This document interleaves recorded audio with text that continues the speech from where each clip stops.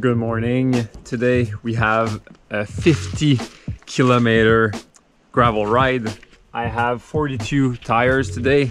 Uh, pressure is about 30 psi. I have the CushCore inside. If I didn't have the CushCore, maybe I would be around 32 to 34. The route today is super exciting, so there's some connection that I have no idea about. I think it's about 30% road, the rest is gravel. Um, so today super short but intense workout. So we're gonna have four times one minute maximum.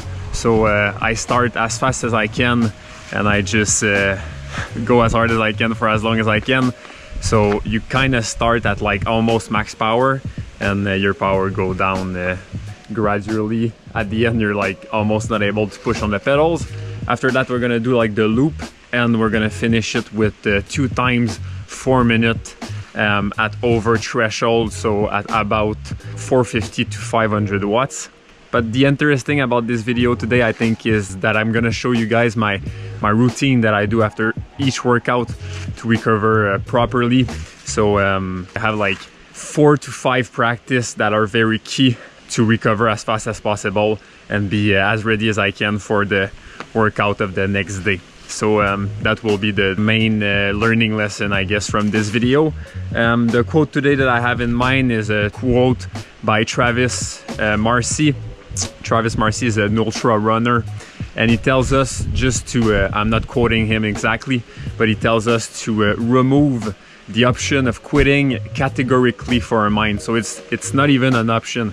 So I know he's an ultra runner, like I said, so his quote is more applicable at his long distance running, but I'm gonna translate it today uh, as my workout because those one minute are so hard. After 30 seconds, you really want to quit mentally and just, I guess, finish the interval, but not do it as hard as, as you can. So um, that will be the, the quote that I will be uh, having in my mind during this training.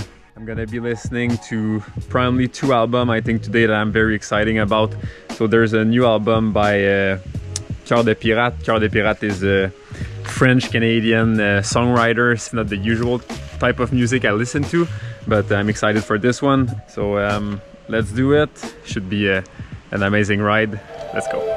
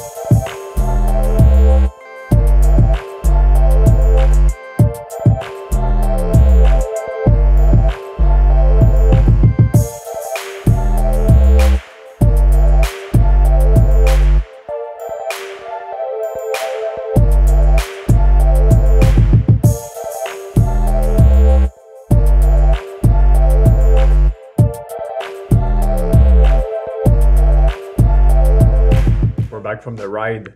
Um, it was actually a very fun ride, pretty cold. At the end, it was like five degrees or something. Um, as you saw, um, mostly gravel, a lot of double track, a little bit of like single track sketchy connection. Um, one descent was actually very surprising. Uh, the one you saw at the end, I never did it, and I was like, maybe it's not gonna be for a gravel bike, but it was actually almost all possible on the gravel, but it was like super shaky and super technical. And after that, the two times um, four minutes on the last climb were pretty hard. Um, I think the last 100 meters is at about um, 25%. So at the end with the um, heart rate super high, it was actually uh, very hard. Um, for my routine, I was supposed to uh, bring you guys and do it like live or something, but um, some something was in the way, so I just decided to do it super fast without filming and everything. So when I arrive, I make sure to uh, do a recovery drink. So I'll put some fruit. Um, I'll most of the time not put a protein in the shake. I'll prefer just um, taking like canned fish um, or something uh, similar to that. So the protein, I usually take it on the side and uh, my, my carbs uh, intake mostly comes um, from fruit, but I also put uh, nuts, butter, so um, there's uh, some protein and some fats there. Um, for the rest of the session, I do a 15 minutes leg compressing uh, session. So I use the air relax. Um, I'll do that for 15 minutes and I'll read at the same time.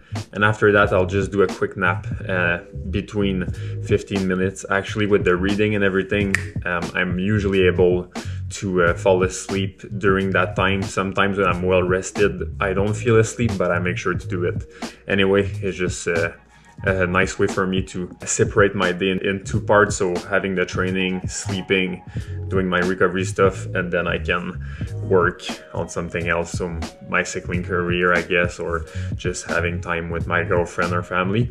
So um, that's mostly why I do this routine is really to create space between the first part of the day and the second part of the day so I arrive fresh and ready uh, to attack the second part of the day because if I don't do that sometimes I just do my training and I feel tired un until I go to sleep. So um, this part for me is actually a way to be more productive. Yes, it costs me 30 minutes, but I think uh, it adds a lot of energy to the rest of my day. I always say it's not about time management it's about energy management so um, that's about it for today a quick one as usual take care of yourself by making the most optimal choice in every moment and do the same take care of the ones you love